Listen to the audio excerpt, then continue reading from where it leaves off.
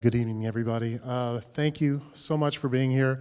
It is a true, true honor to have Norbert Putnam with us today for the afternoon panel and for tonight. Um, I'll just say that uh, uh, before we get going, if you like Elvis, if you like Jimmy Buffett, if you like Joan Baez, the list goes on and on. You know the magic touch of Norbert Putnam. So, uh, Norbert, shall we? uh, Well, I hope you start? One of those people. is, it, is this on? Is it okay? Oh, oh, I just got.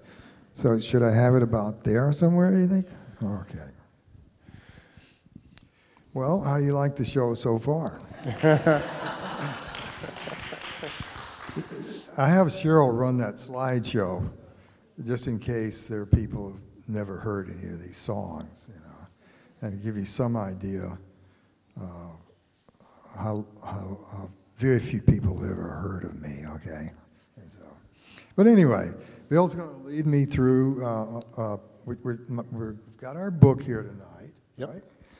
And so, uh, So after afterwards, you will be signing copies of your new memoir, oh, Music yes, Lessons. Yes, you want a signed copy? Uh, we love. We have them all stacked over there, and uh, and they're on sale tonight because uh, all the money is going uh, for the uh, food supply for my two poodles, Sophie and Gracie. Uh, so so feel good about your purchase, okay? So Norbert, why don't we start with a mutual, uh, a mutual admiration society that we have for Sam Phillips? Kind of that's where it begins for you in some ways, I would think. Oh yeah, you know, I grew up in Florence, Alabama, right? And uh, as a matter of fact, I live there now. Uh, uh, my wife and I, for the last 30 years, have been renovating great old homes. And there was a slide a minute ago of our house in Florence. But five blocks from this house, a young man named Sam Phillips grew up back there in the late 40s, early 50s. And Sam, you know, he, he leaves Florence, Alabama, works his way over to Memphis, and uh, starts a little uh, recording service, Memphis Recording Service, and then starts his own label. He, he recorded a lot of the really great blues artists. Yeah, even if Elvis had never walked in that studio, we would be talking about him for B.B. King, Howlin' Wolf, Yeah. Junior Parker, uh, Rufus Thomas. Rufus Thomas, uh, exactly. And, and Rocket 88, that was. Uh, Jackie, well, it was, it was Ike Turner and the Kings of Rhythm. Yeah.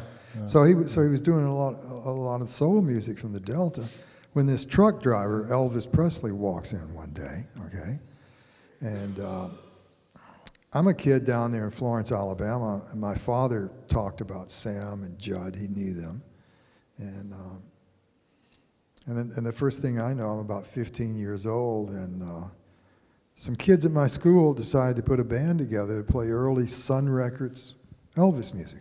Okay, and one of them remembered that my father owned an acoustic bass, the big double bass. Okay, and Danny Cross came to me one day, and he said, "Norbert, you have to be the bass player." He said, uh, "No one else in school has one."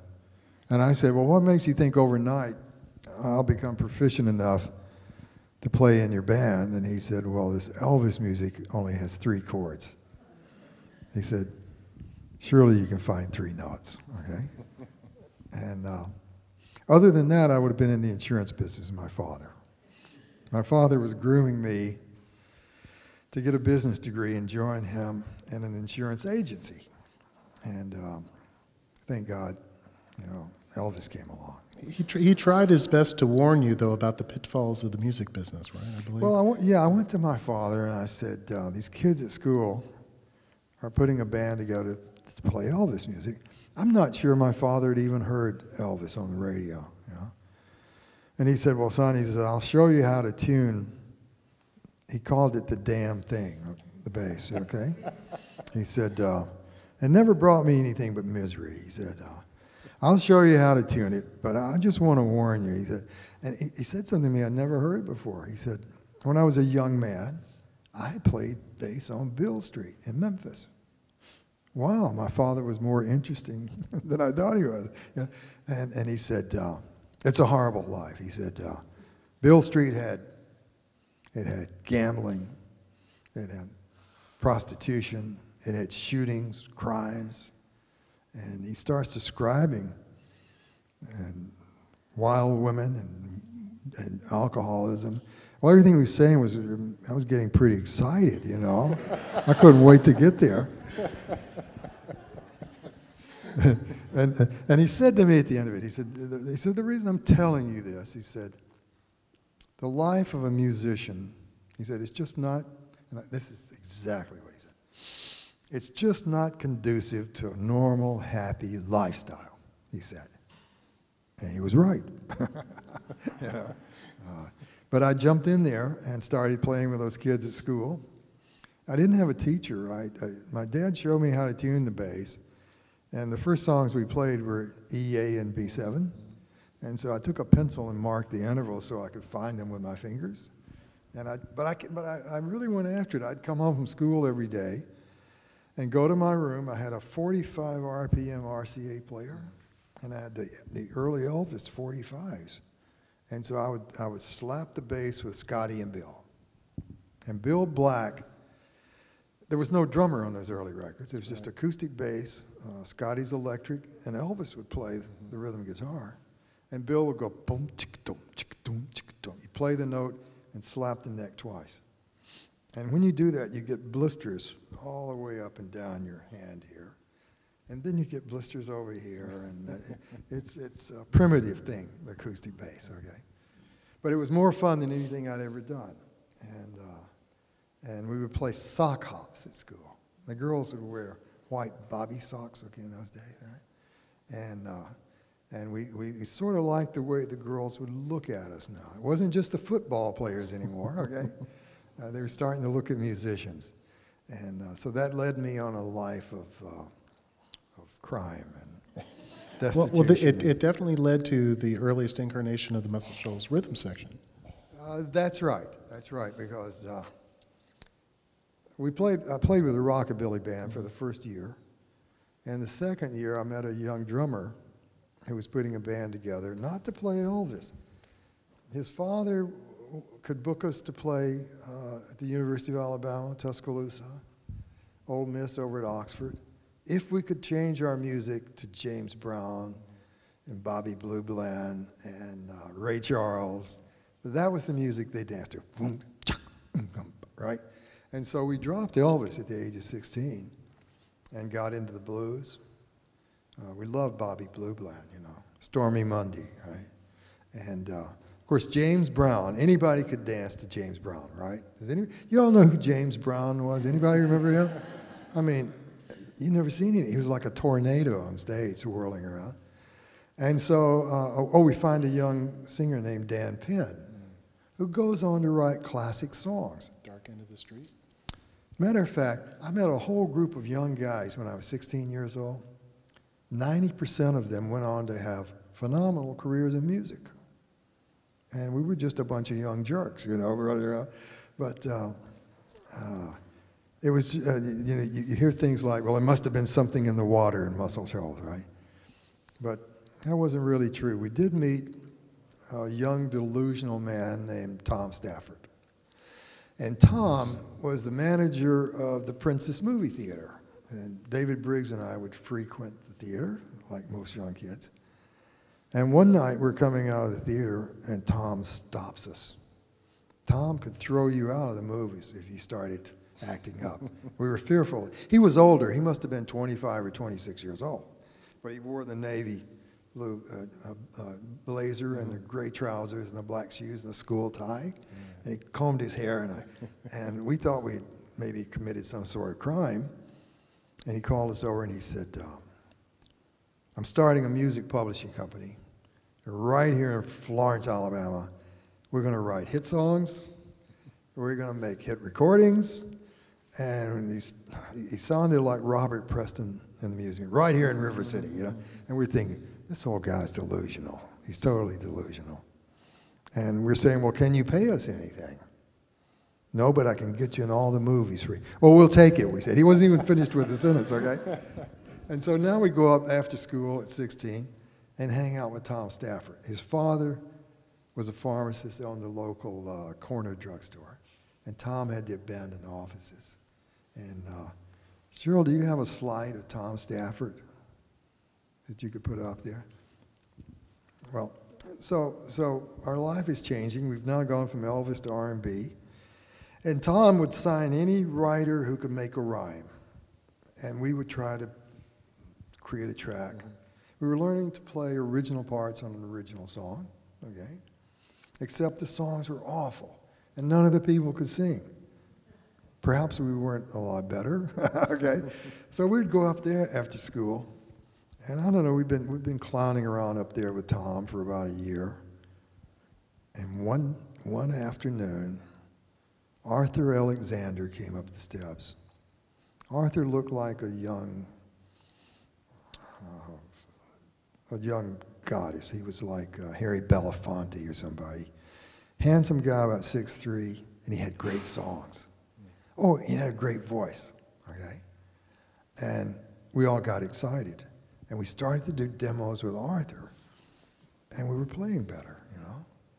And, uh, And, and he would work with, with David to get the harmonies down, right? yeah, yeah, Arthur couldn't play an instrument, and, but he would sing his songs a cappella.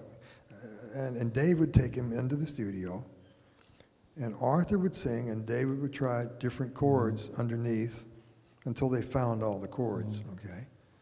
Which could take 20 or 30 minutes sometimes. Arthur would sing, and David would play, no, no, that's not it. That, that's the one, he'd say, back up. And so David would back up. I would be bar five, and he'd put the chord in, you know? And so David actually co-wrote a lot of those songs. But um, Arthur was the first real talent come up the steps, you know? And and then a young entrepreneur shows up, a new guy in town named Rick Hall. And Rick Hall, I don't know if you've seen the Muscle Shoals movie, it's all about Rick Hall. And a lot of it's actually true. Um, and- and- but he was necessary. Rick had, Rick had the wherewithal to go and raise the money to build a real studio.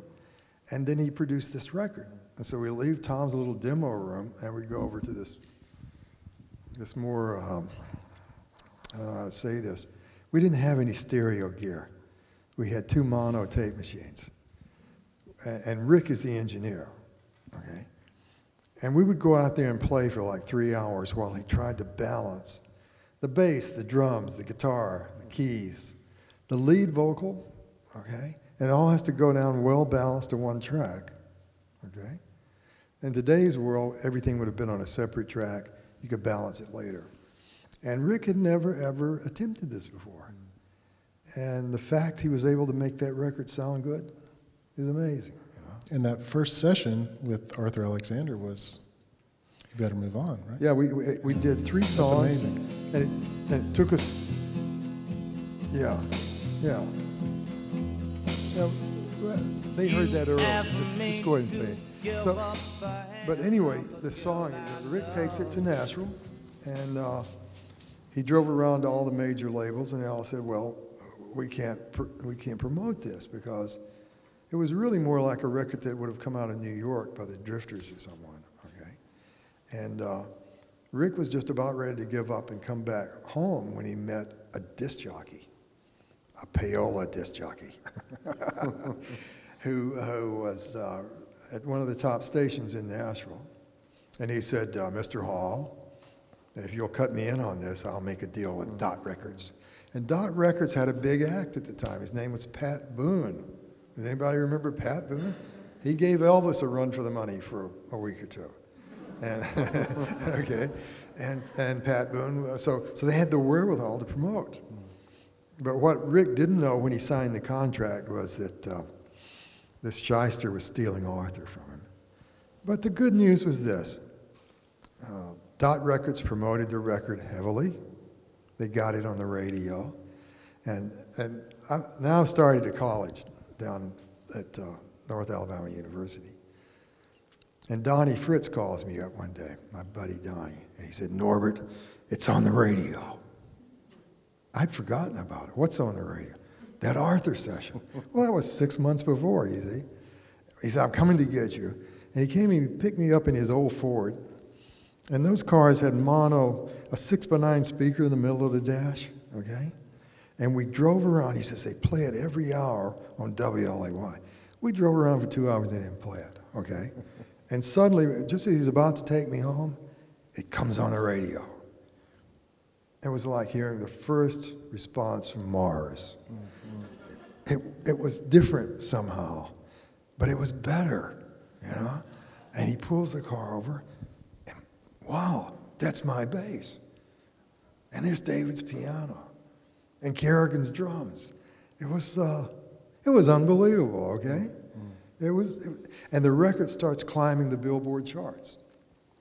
It comes on at 80, then it's at 60, uh, then it's at 50, and then it's at 40, and uh, and uh, I think it made it into the top 20. Sold about, in those days, I think sold seven or eight hundred thousand records. So it, it wasn't the giant smash yet, but Arthur gets a call from Dick Clark in Philadelphia uh, to come up and do one of the afternoon shows. Dick Clark was on, on TV at 4 o'clock every day, I think, or 5 o'clock. And he would have a new act every day. And, uh, and Tom Stafford, the delusional man, calls me. He's, he's not looking so delusional anymore. and now, Norbert, he said, uh, could you drive Arthur and I up to Nashville tomorrow? I said, well, why can't you drive yourself? Well, I don't have a driver's license, and Arthur has a problem with his at the moment. I don't know what happened to Arthur. He had a car but no license. And so I agreed to drive them up there. And it didn't look good from the moment we pulled out of Tom Stafford's driveway. Arthur was saying, Now, Tom, I'm not going on no airplane. He was saying, I ain't going on no airplane. And, and Tom was saying, Arthur, you don't have time to go any other way. You got to be there tomorrow afternoon. And this is not looking good, you know. And as we get closer to um, Nashville that day, Arthur asked me to pull over at a liquor store. And they call them package stores there, you know. And so Arthur has a plan. He comes back with a pint of Jack Daniels and a couple of Coca Colas. Arthur, have a little of this. It'll calm your nerves. This Lockheed Electra is a great airplane. I think they crashed three or four of those things. But, but I'm looking in the rearview member, uh, mirror, and Arthur, he puts a bottle he took down half of it. He'd had a drink before. Oh, God. Well, by the time we got to uh, American Airlines and the doors swung open, Tom said, So, Arthur, what are we going to do? We're going to Philadelphia. I'm going to be on the So he needed a little encouragement. And the next day, we all gathered around the TV, the black and white TV, and there was Arthur, and he looked like a deer in the, in the headlights. and, and he's going to, he's going to lip sync, right? He, man, the most frightened looking man I've ever seen in my life. Right? but that was the beginning of Muscle Shoals. And uh, well, you had your own plane scare uh, with the rhythm section going to open for the Beatles with Tommy Roe, right? Oh yeah, yeah. Air, airplanes were a problem in those days. uh, uh, Rick Hall makes enough money to build an adequate studio, and it's still there. If you ever come to Muscle Shoals, you can tour Fame Studios. Mm. And Fame was for Florence, Alabama Music Enterprises. Okay? That's how they put it. Rick made a deal with Tom, and, and so Rick builds a studio, and we start to cut. I dropped out of college. Mm. My father and my family was irate, okay? There will be no Putnam and Putnam insurance agents. and, uh, and I, am going over there to make $5 an hour uh, playing on records. And our second record was The Tams, What Kind of Fool Do You Think I Am? Which is a, a really cool record. I really like that record. We had a guy from Atlanta who came up and he had a whole stable of great artists. He had Joe South, Billy Joe Royal, The Tams, Jerry Reed, Ray Stevens, and he sort of kept us in business. Uh, and Tommy Roe was one of them. And young Tommy was a huge star in Europe. Tommy looked like a male model. He was a cute kid. And he was a good singer. And we did a record called Everybody. Do you have that, Cheryl? Oh, my wife up there is running the audio and video. Isn't she doing a great job? Yay!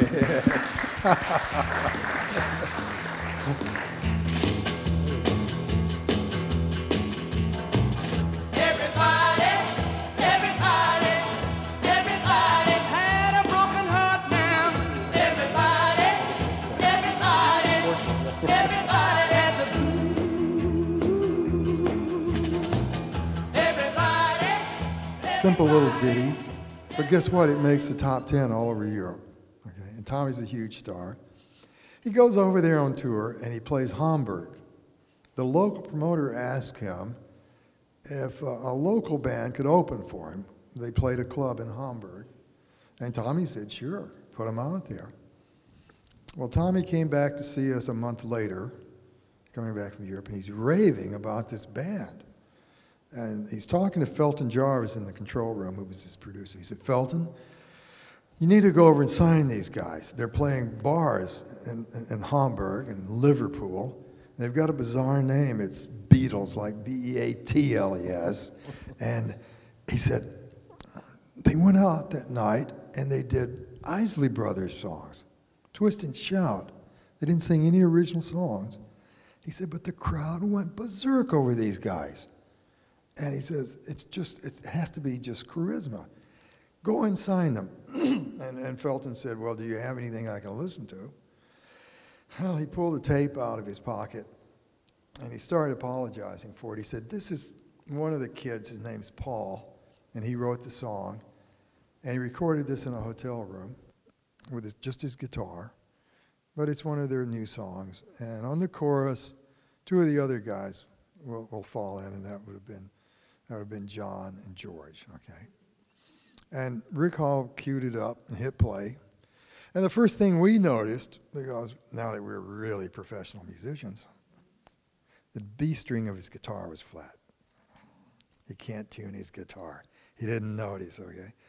That's one demerit, right?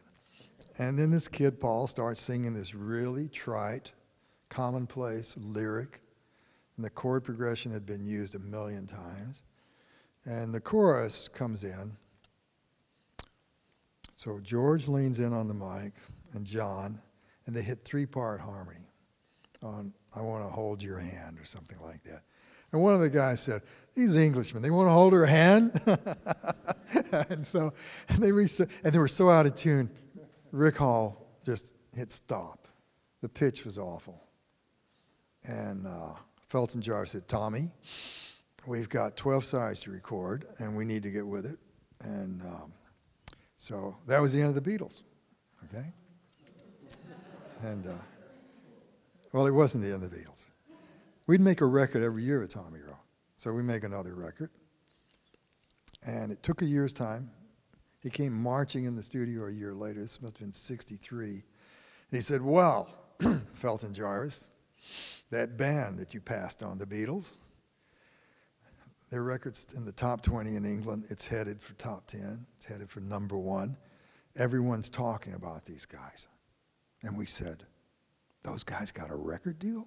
They couldn't tune their guitars or sing in pitch? And he said, yes. Not only that, they're coming over here in two months to do the Ed Sullivan show. And then they want to go down to Washington and do one concert just to test the waters. And we're still thinking, these guys got a record deal.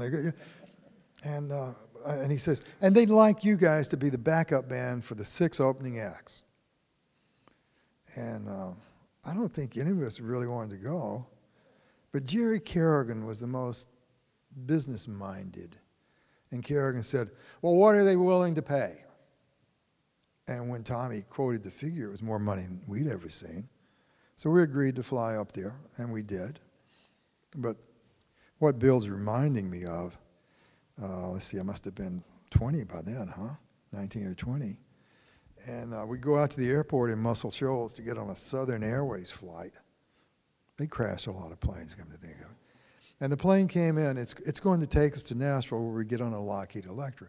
But the plane was a DC 3. I don't know if any of you know what a DC 3 It's an old World War II plane. And we're standing there, we have our boarding passes, and we're in line, and it lands, and people are getting off, and the right engine catches on fire. And flames are coming out of the right engine. And we're all looking around like, does this happen every day, right? And the stewardess goes, Oh, no, it happens all the time. And she started telling, and they're running out there with fire extinguishers and they're putting it out. That was my first plane ride. I watched the ground all the way from Muscle Shoals to the Nashville airport, waiting for that thing to explode. Well, to make a long story short, uh, we watched the Beatles on a Sunday night, didn't think much of them, thought they looked good, but the songs were still trite. And we went down, we played the concert, and on the way up, the Lockheed Electra had a bar in the tail. And, uh, and we went back there to have a cocktail. And Carrigan says, I want to propose a toast. Now we're men now, but we still drink the drinks our parents had, like whiskey sours and these awful drinks. And, uh, and we said, So what, what are we drinking to? He said, Tonight. And he put his glass up, and we all leaned in. Tonight we will be playing with the Righteous Brothers. And oh my God, yeah. those guys were great, right? I told George that story years later. I said, George, until we saw you that night, we didn't think much of you. But we were knocked out when they actually came out and played. And I told him about toasting the fact we'd be playing with the Righteous Brothers. He said, I wish I'd been in your band. He said, I always wanted to play with the Righteous Brothers. So. Um, jumping ahead here for a minute, you got to spend a lot of time with George later on producing a band called Splinter. Yeah. And yeah. that's where George reminded you of the importance of that those those early sessions with Arthur Alexander. Yeah, years passed. That was in '64. By '75, I'm now producing records, and I'm in L.A. And I ran into George, who now has his own label called Dark Horse, mm-hmm. and he wanted me to produce an act from Scotland, but I had to do it at his house in Henley, this gorgeous old Victorian mansion. And, uh, and I, get, I get to Henley, and I go up to George's magnificent estate, 28 acres up there, by the way. And, uh, and he, he lived a very frugal life. You know, uh, George and Olivia each had an assistant. Uh, George's assistant was Kumar Shankar, and his brother was Ravi. Mm-hmm. And Kumar cooked and helped George in the studio, and Olivia had one maid, okay?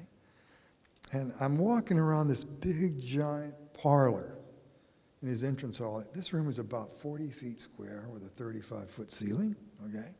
And over in the corner was an old Wurlitzer, and I walk over there, and there's that first Arthur Alexander record. and I said, George, where did you get this? He said, Well, I remember the day that John Lennon brought, bought it, brought it to a Beatles rehearsal in Liverpool, long before they had a record deal.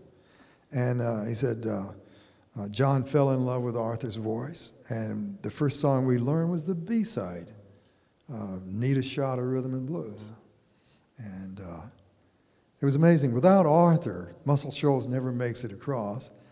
And a few years after that, the Rolling Stones cover Arthur Alexander's. And the Beatles did a couple of his songs. Anna, I think they did. And so um, while all that was happening, Muscle Shoals was taking off. You know? and, uh, it, was, it was an odd thing. Every, almost everyone down there that I would bump into would later be a, a player yeah. in music. Incredible uh, uh, talent pool. How did you end up in Nashville uh, from that? I assumed it had been Felton Jarvis, but it wasn't. Well, in a way, Felton comes down uh, to do Tommy.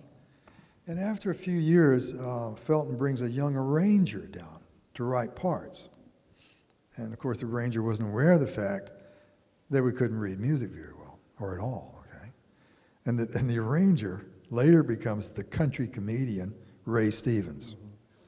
Ray Stevens has a degree in uh, classical orchestration and piano. He plays great Chopin, okay, believe it or not. but he was always the class clown. But he came to Muscle Shoals around 64, I guess it was. And he hands out parts to me and David and Jerry. And, you know, I, I couldn't read the bass part. It looked very, looked like the Tchaikovsky violin concerto. And, and, and he said, Are you trying to tell me that you guys make hit records and you can't read music? Well, yeah.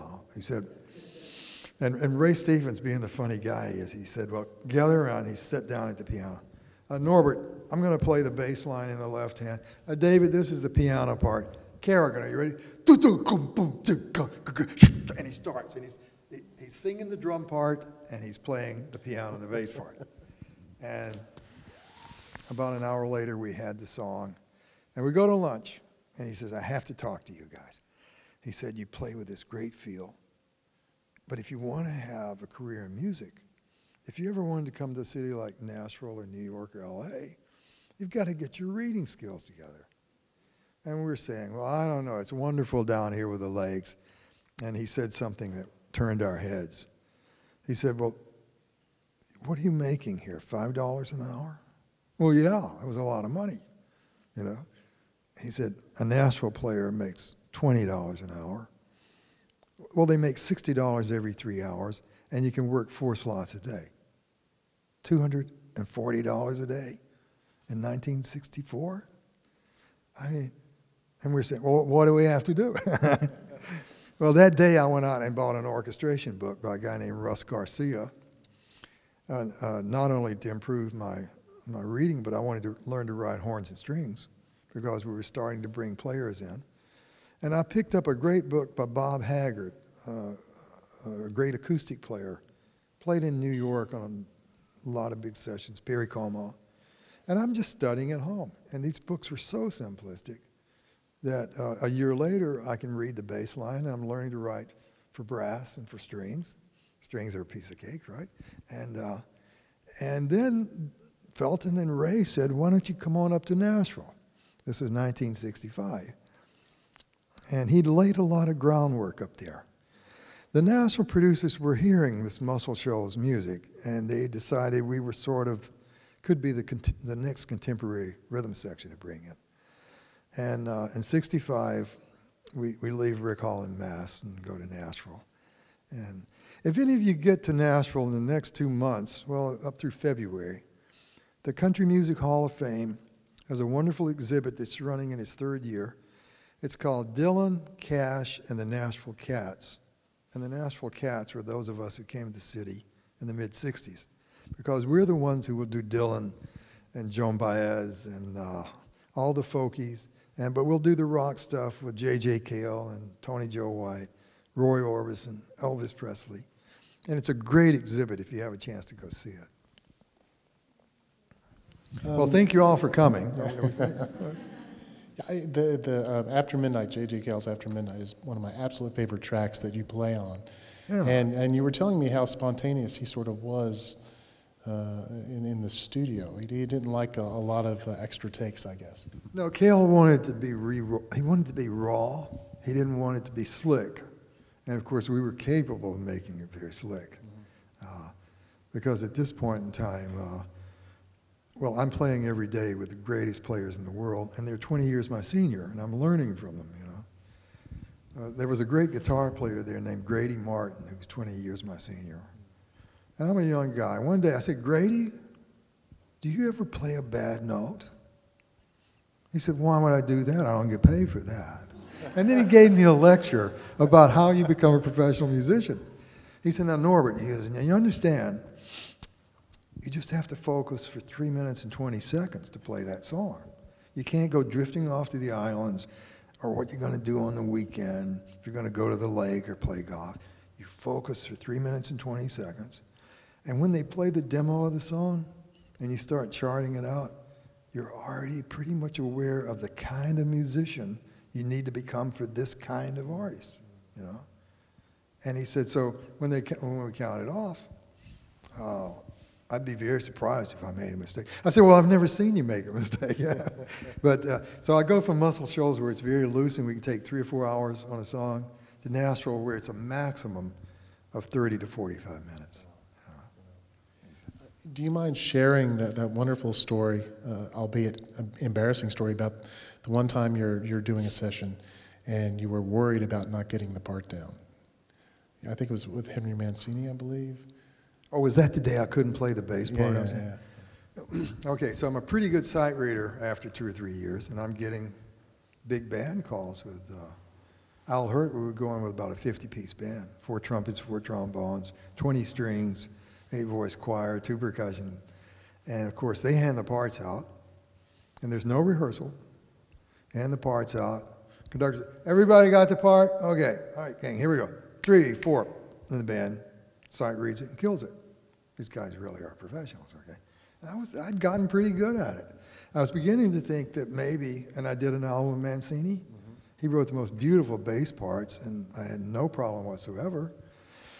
And but there was an arranger from your hometown, Memphis, and uh, Bill Justis. And Bill Justis had never called me for a record date. And I was just dying to show him how great. My forte was inventing a great part that came from my heart and soul to go on J.J. Cale or Tony Joe or Elvis. And so I get my wife says, "You got uh, you've got Bill Justis in a week. Great. I'm going to show him how great I am." Right. Well, a week later, I walk into the big studio at Columbia A. We got about a 40-piece band, and everything's going to be written out. And Justis is late. Normally, I would go grab all the bass parts. Oh, by the way, we're going to do four songs in three hours, and take two 10-minute breaks on the hour. And there wasn't a lot of pressure if you could play perfectly.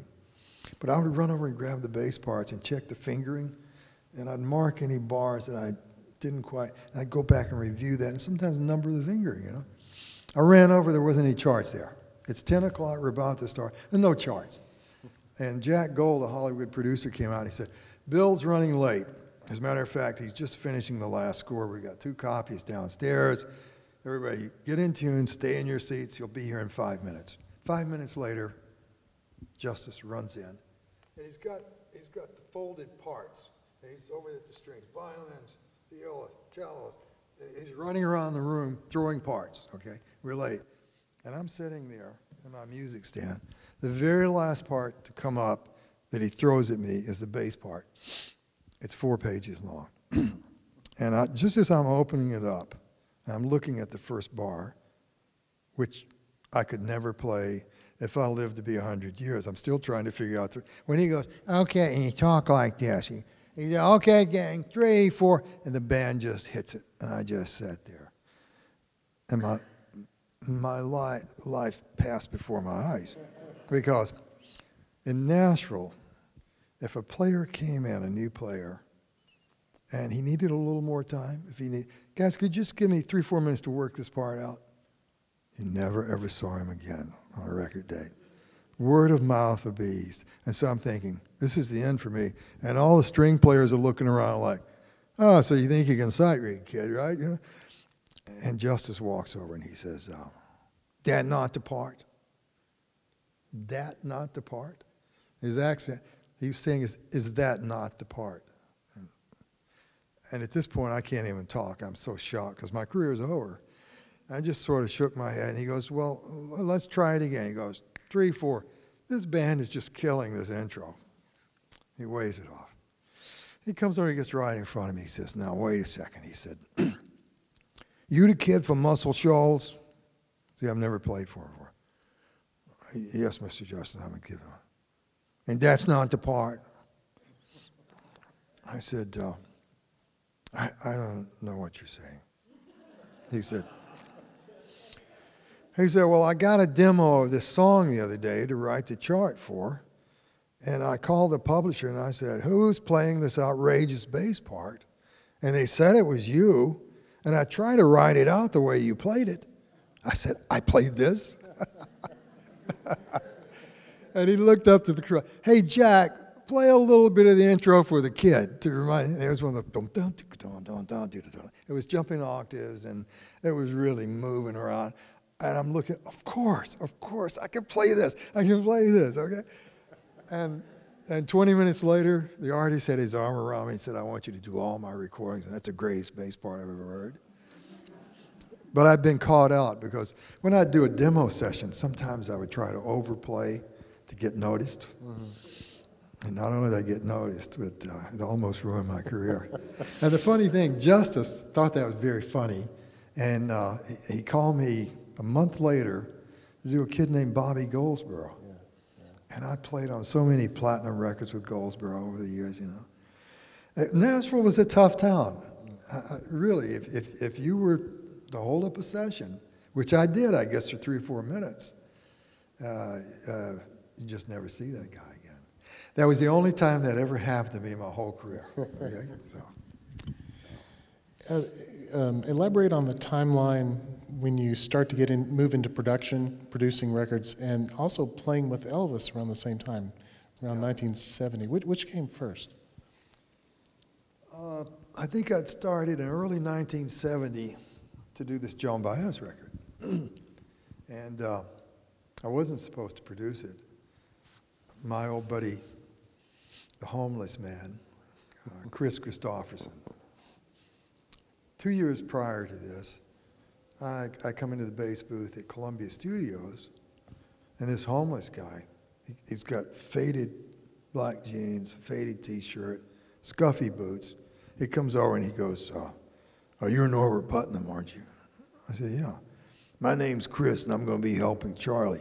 Can I empty that ashtray? He was sweeping floors. And I knew he made $35 a week. And that Texas accent belied the fact that this man had been a Rhodes Scholar and had a degree in English and English literature, but he talked like he's from Texas, you know. And, and so, I don't know, I, I, I, I would go to Columbia Studios four or five times a week, and I'd see Kris and say hello. And one day he said, uh, could you have a beer with me between five and six? I would play every morning, 10 to 1, load up my basses, grab a sandwich, go to another studio, 2 to 5, load up my bases, go grab a beer and a sandwich, play 6 to 9. And I was home most every night but 10. Some nights I'd have a 10 to 1 a.m. and I get home at 2. You had to be young, okay? And so, and so I take, I assume Kris doesn't have any money, so I take him to this restaurant. And I said, order anything you want. Matter of fact, I picked up some cash, thinking he, he, I'd loan him some money. He was living in the roof of an old house downtown, and um, I honestly thought he was homeless. Little did I know that the guy could fly a jet helicopter, and he would sneak down to New Orleans once a month and fly to the oil rigs for two days. So he, he hustled me. But, but, he, but so we're sitting there and we're having a sandwich. And I said, So how can I help you, Kris? He said, Well, I'm, I'm, I'm, I'm up here trying to become a songwriter. Oh, no. Oh, no, I thought. He's going to ask me to give one of his songs. I'm sorry, the amplifier is complaining. Oh, it's better now, isn't it? Can you hear that out there? Oh, they can't hear it. Uh, uh, and so, so you want to be a songwriter? So I went into my standard speech. Okay, Kris, here's the deal. You and 4,000 other people today are trying to be songwriters in Nashville, and your chances are slim and none. Okay? When he says, Well, I played some songs for Scotty Moore, and he's giving me free studio time if you guys could help me and come and play for two hours. I respect Scotty Moore. Could he have heard something in this guy? You know? and, and Kris is really a nice guy. And, and, and he said, oh, it has to be on a Saturday morning. That's the only time we would have office Saturdays. Well, it took me a month to convince Briggs and Carrigan to come in for two hours. And Carrigan said, well, you can tell him one thing. At 12 o'clock, I'm out the door, you know. And uh, he, he came over that morning to Music City Recorders, took a bottle of Southern Comfort. Have you, any of you ever had that? My mother gave it to me when I was a kid if I had a cough. and I think that's the reason I drink so much. But, but we, we, we go down there, and he, he gets the bottle out, and he walks over in front of us and makes a little speech.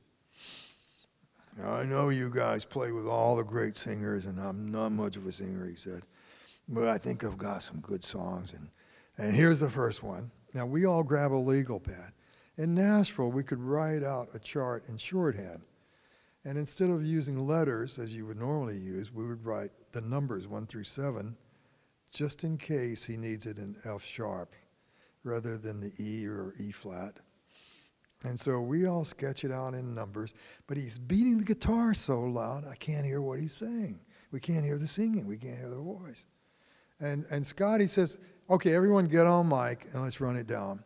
And on this particular day, we didn't have headphones. And Kris is 10 feet away, and we counted off. and this Nashville section, we're playing it perfectly, and we can't hear a word. He's, he's over there mumbling in the mic. So we do a take, and Scotty said, Everyone come in. And Briggs and I, my partner, the piano player, we're standing in the back there, and David and I had a publishing company. And we had a very successful pub. We knew something about good writing. And it starts, and Kris starts singing. David looks over and he says, I won't, I won't use the profanity. He says, This blank blank, he's worse than Dylan. you know, Bob had a bad reputation, but Bob opened the door for the non singer. And, and so we're listening to this really bad voice sing this song, and he gets into the chorus.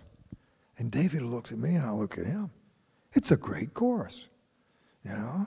And and David said, I think this guy can write. And I said, but the voice is awful, you know.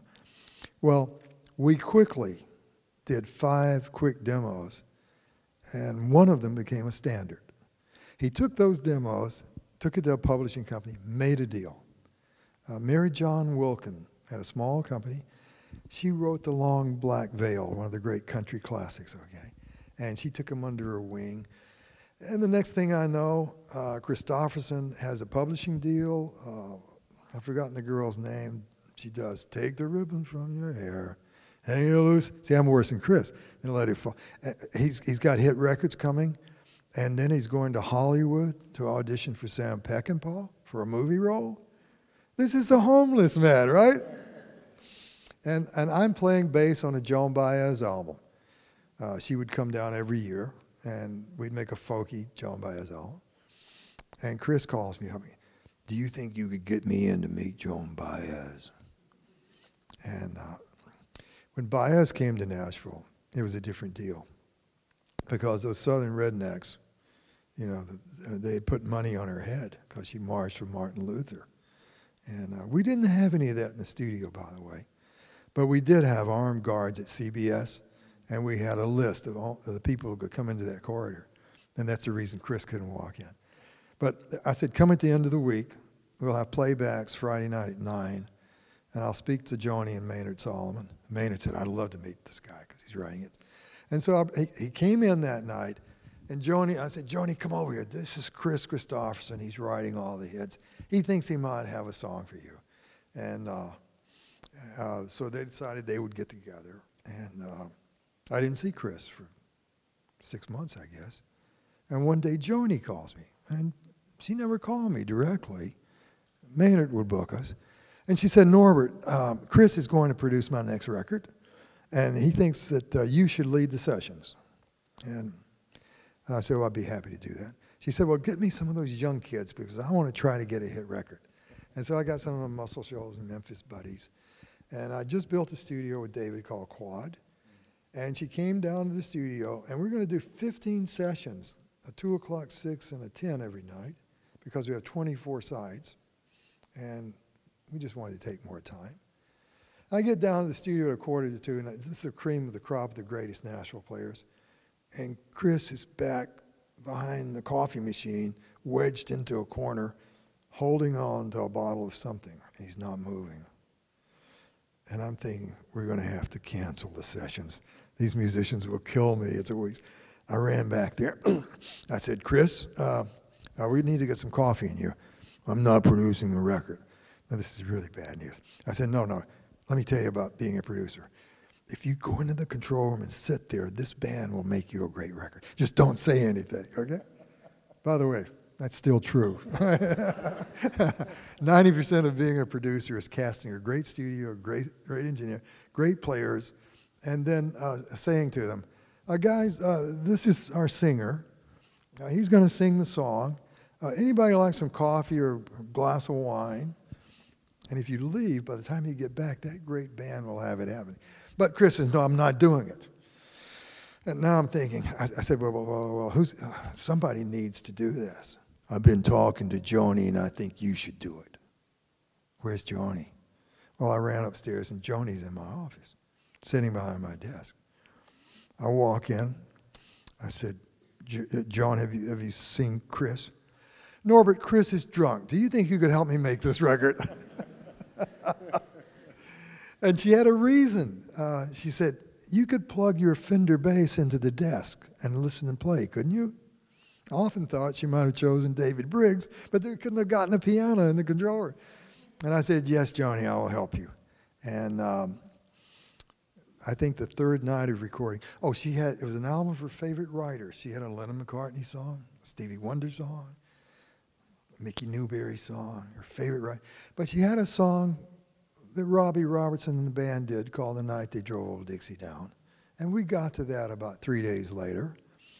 And it was, and by the way, if, if you have this record or you listen to it, Joni is standing in the front parlor of this old house where we had our studio, and the band is in the second parlor, and we could shut the, the doors if we wanted to. And she stands there with her guitar and she plays the lead part. Cheryl, could you just play the first 20 seconds of this? She plays dong. Now she does this lick. Oh, we missed the lick. Virgil she Caine is my name. plays in perfect sync. on the Danville train. This is a true artist, okay? so much cavalry came and tore up the tracks again. And, so, and so we do this track, and it's just the prettiest thing you ever heard. And we're standing in the control room listening, and Joni says, "What do you think we should do for harmonies?" And I said, "Wouldn't it be great if we had an audience like all of you, singing the night they drove Dixie down?" You know, when a lot of people sing in unison and a note gets real wide. And she said, "Well, where would we find a bunch of people like that?" I said, "Well, let's go out and look in the hall." The front entrance foyer of Quadraphonic ran about 30 feet. And all of these famous songwriters had come over there hoping to grab her and play her a song. I'd already gone out and made the speech. You cannot picture a song. We have all we want, but you can stay here. And so we had Mickey Newbury and Guy Clark, and uh, Dave Loggins was out there, and even Jimmy Buffett showed up one night. And Kris Kristofferson's there, and uh, Donnie Fritts. And they're all out there drinking my liquor. We had an open bar upstairs. and they're, they're saying, well, listen to this song I wrote, you know. And they've got the girlfriends there, and, and they're all highly inebriated. And Joni said, well, let's just see how it would sound if we bring them all in. Is there a button? Oh, great. And so we bring all the drunks and their girlfriends in, and we're lined up up in front of two mics. We had about 20 people, and we started. Well, the drunks all wanted to be in the front, so we have to push them to the back. And the, the least imbibed are in the front, okay? And, and, and we did it once. It was still a little too rough. We did it again. Joni went out and she joined in. And I think I went out the third time. We had everyone except the engineer. And we put the 20 voices down three times. Yeah. So you were hearing 60 voices. And we, and we, oh, and a couple of days later, I'm doing the Holladay Sisters. I stuck them on there.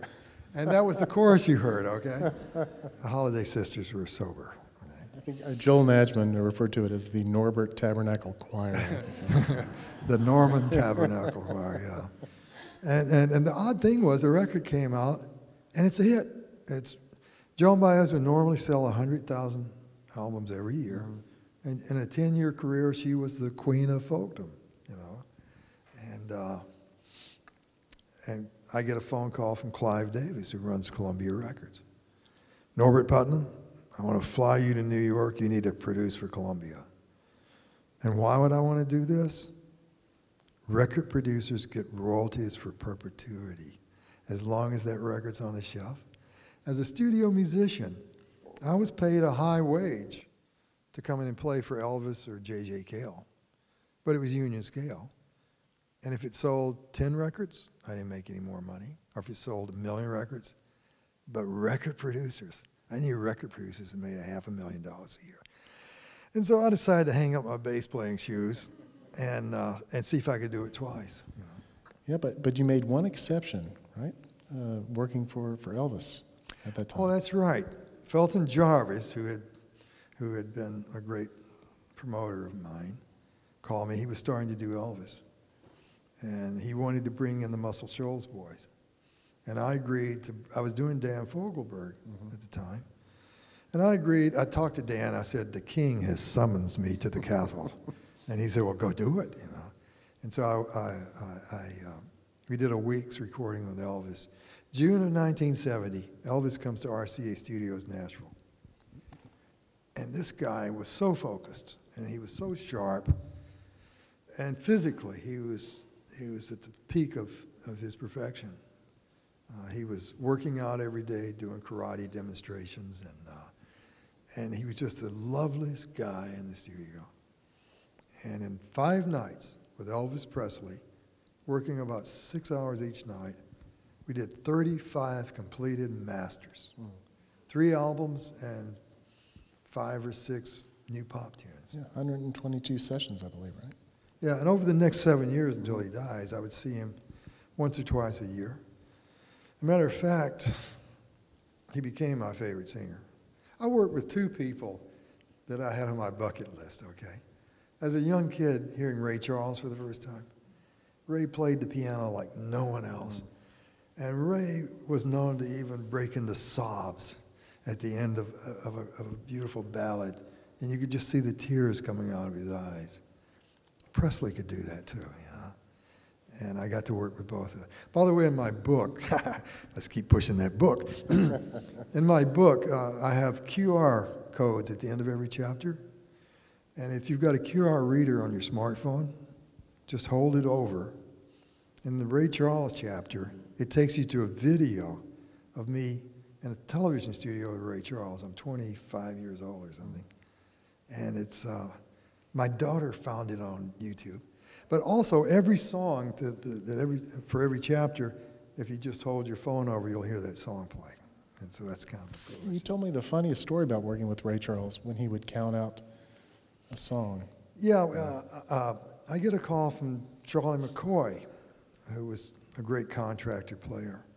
He said, Norbert, the Hee Haw television show, which was this sort of hickey kind of show, Ray Charles is coming in to do a duet with, uh, uh, what was the, who was the lead guy from Bakersfield?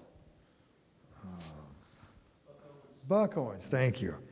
They're going to do Together Again, Together Again, you know. And, uh, but uh, uh, Ray wants a more hip band than the Hee Haw band. And so I go down there with Kenny Buttrey and some of the top Nashville guys. And they lead Ray out. And he sits down at the piano. Where's Buck? Oh, here comes. Hey, Buck, how are you? And he goes, "Here's the band here, you know. We're over here, Ray. Oh, hi, guys. He goes, uh, well, uh, uh, are you ready? Well, the, everybody was ready, okay? And we had charts. And, and we counted off. And Ray and Buck, on the first take, nail it, okay? Well, then there's another one. They nail that. And Buck says, Ray, thanks for coming. I've got to run over this other set because we're filming. And the producer says, Ben, sign the card, and we're all finished here. When Ray said, You boys know any of my songs? I've been playing his songs since I was 16. Ray, we know all your songs. Bet you don't know this one. And he went, but he, he went into Georgia on my mind. And we played it flawlessly. He said, Pretty good for white boys. You are white, aren't you? we said, How would you know? and he went into another one. And he started having fun. And we're jamming with, with Ray Charles. And the producer says, Roll tape. And uh, the video that you'll see uh, out of the book was an old Cindy Walker song. Mm. You don't know me? Uh, you give your hand to me and you say how. And, and uh, well, anyway, we did six or seven Ray Charles classics in about 30 minutes. And Ray got one of the things, I think it was Hit the Road Jack. He gets up and starts dancing around. He's bumping into lights and cameras, you know. But that was one of the great memories of my career was that afternoon with Ray Charles. Okay. Trying to explain to uh, a lot of my students out there why Elvis was so important and what it meant to you to work with him. Well, obviously, he was important to get me started with that early rockabilly stuff. Uh, but, uh, and when I was called to work with him in 1970, I w- I wasn't so sure about Presley. You know, I liked the 68 special he did where he was unplugged. Yep. And and I thought he was a great singer, and I thought he had tremendous emotion. There were a couple of things in the films, uh, songs that I thought were just exceptional vocals, you know. Uh, a song uh, called um, They Remind Me Too Much of You. You know? you know, take away the scent of flowers, take away the sky of blue yada yada yada yada. They remind me too much of you. And when he when he did that in a big soundstage in Hollywood, you could almost see tears coming out of his eyes, you know. And so I, I took the date because wouldn't it be great to have Elvis on your resume? but when I got there, he came in, and uh, he was um, he came in like the biggest star in the world. Okay, he came two hours late and he's wearing a black cape like King Leopold of Bavaria, and he's got a silver crested lion's head walking cane, and it's got two ruby eyes. And he walked in, he surveyed us, and he pitched it in the air. And one of the Memphis Mafia guys caught it. They had worked on this. And he took the cape off and he swirled that. They caught that. So I thought, what am I in for? This guy's got to have the biggest ego in the world. And he walked into the middle of the room and he said, Come over here. I've got some of the craziest stuff to tell you about Elvis. And he sat down on the floor. And I thought later he had decided to make himself smaller because of this big opening. And we all sat down on the, on, on the parquet floor at uh, RCA B, and he starts telling us the funniest stuff that you can imagine Elvis fans, okay? And he was sort of talking about Elvis in the third person, this, this guy, Elvis.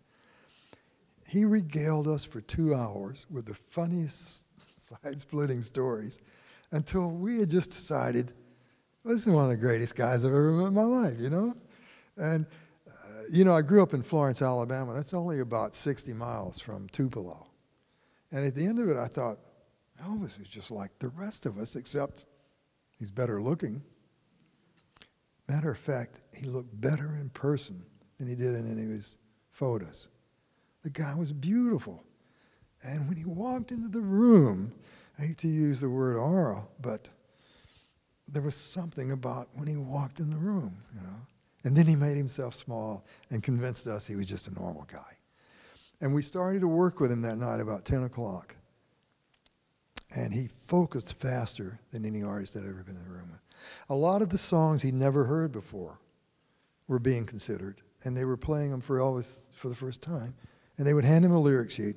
Elvis, this is written by that guy who wrote 87 number one records last year, and we just signed him, and this is going to be a great record for you. And he put on a demo and there was a guy in Hollywood who did a good imitation of Elvis's voice, and he could sing in Elvis's key.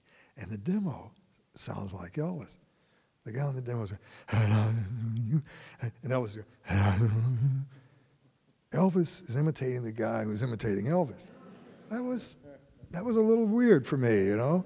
But meanwhile, our job being professional musicians, we'd all grab a legal pad and when it starts playing, I start writing a chart of the changes. And I take down the bass line just in case they want that bass line. And David Briggs is over there writing a piano part. The, the, we can all write our own charts. Well, Elvis might sing it.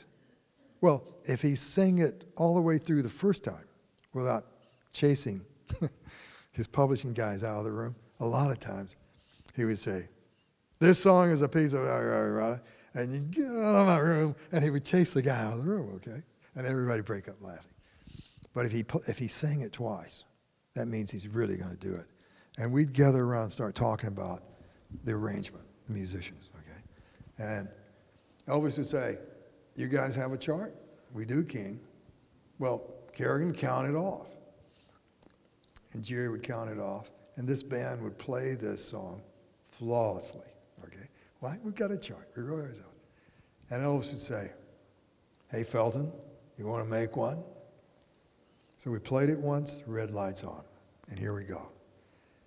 And Elvis never worked his way up to the vote. He started full throttle, and he would attack this thing, and we would play to his emotion. I better attack the bass, you know. and a lot of times, he would get it on the first take, and that was a nightmare for us. And it, because he, he would go in the control room, and we're watching him. They've played it back. Oh, no. They're playing it again. That means he's thinking of keeping it. And we're all saying, we need another take or two. James saying, I need to do this, and David, you could do it. We're, we're getting tightening up the arrangement. And so we worked up a little, uh, a little uh, charade. We would take turns. Norbert, it's your turn. Okay, I'd walk in, I'd stand beside Presley, and maybe they're playing it the third time. And he's convinced, trying to convince himself this is the one. Hey, Pud, what is it? I'd say, uh, Elvis, uh, you think you could do one more for me? He would say, hey, hold it, hold everything.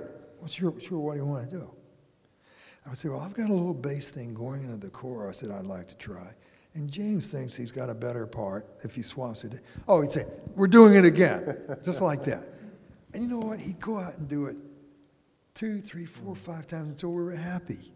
He never once said, Well, I got mine, why didn't you get yours? You know? So he was just the loveliest guy. And he never, I did 120 tracks or something. Not once did he ever come over and ask me to change one note. He was so focused on giving this great emotional performance, it was almost like he didn't really hear the band, you know. And at the end of all that, it was just, uh, I'd just never seen anyone that good before, you know.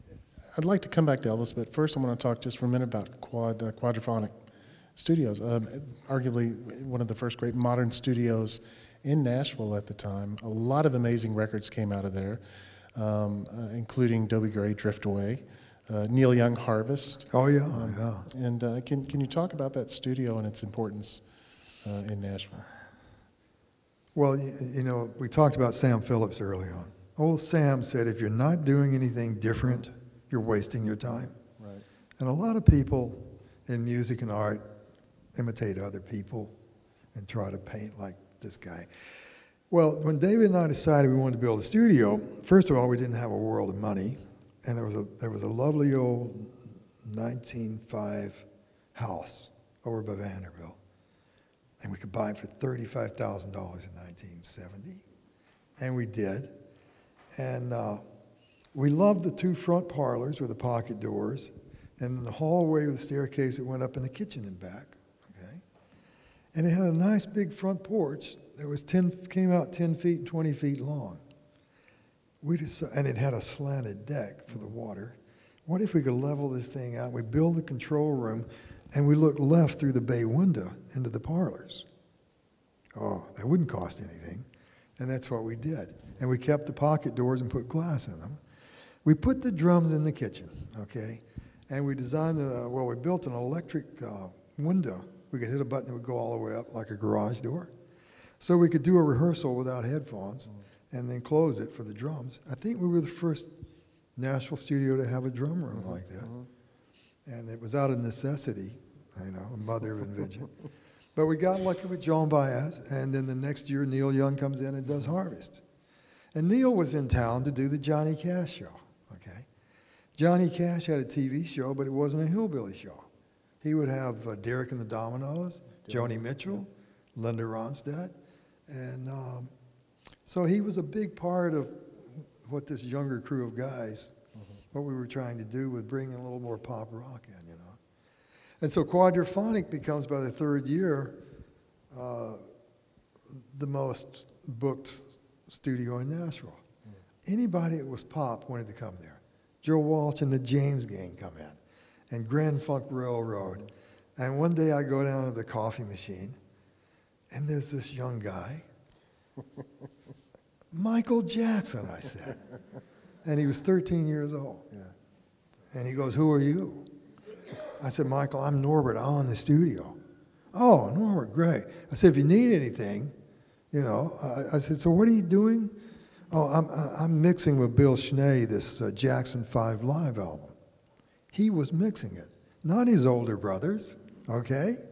And I thought, well, that's, I was amazed that they would let this young guy do that. And as I'm about to walk away, he goes, Hey, Norbert, um, I don't think Bill Schnee, I don't think he's getting the bass right. Now, Bill Schnee was one of America's greatest engineers. He'd flown in for California. He did more platinum records than anybody alive. And I sort of looked at this kid like, how dare you even broach the subject on Schnee? But I don't want to get in the middle of this. I said, well, Michael, I've got to make some phone calls. I'll come back in an hour. If Schnee doesn't get it together, come and get me. So I went upstairs, and I took longer than usual to make my phone calls. I finally went down. He was standing waiting for me. Will you come in and listen? Now, I know this can't be true. And so I sneak in the back, and we had a sofa across the back. And I sit down with Michael, and Schnee starts playing his mix. It doesn't have enough bass. I'm looking, and he knows this before Bill Schnee knows this. and I said, Michael, wait outside and let me talk to Bill Schnee. And I went up and explained to him that, uh, that my studio was not exactly acoustically perfect. And I said, You have to go back and check the bass on the sofa. If it's too puffy, you roll off below 50 cycles, okay? But if it's lacking bass, you got to bring it up more. Oh, I said if you stand back three feet and you put the monitors up about 110, the floor should vibrate. That doesn't happen. Well, I go back upstairs. I'm up there 20 minutes. Someone's beating on my door. Open the door. Michael goes, he's got it. He's got it. It's great. and uh, they did. They mixed the whole album in three or four days. You know. But I was. I, I can't tell you how impressed with, I was with this Brian. What a great testament to, to his ability and his Yeah, he talent. was, he was brilliant.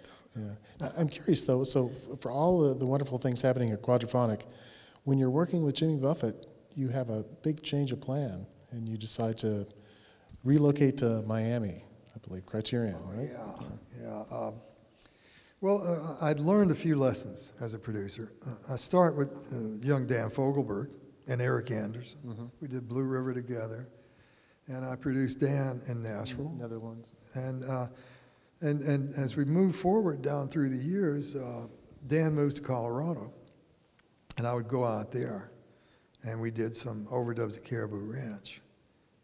And he sounded better in Colorado near his house. And he was writing songs about the mountains. And, uh, and so I get a phone call one day to take a meeting with Jimmy Buffett. He's had a hit record, Come Monday, uh, which had made it in the top 20. And he was being produced by a good friend of mine, Don Gant. But Jimmy's manager calls me and said, Norbert, uh, Don doesn't want to work, uh, well, Jimmy doesn't want to work with Don anymore. And uh, this was hard for me to believe because Don was one of Nashville's greatest producers.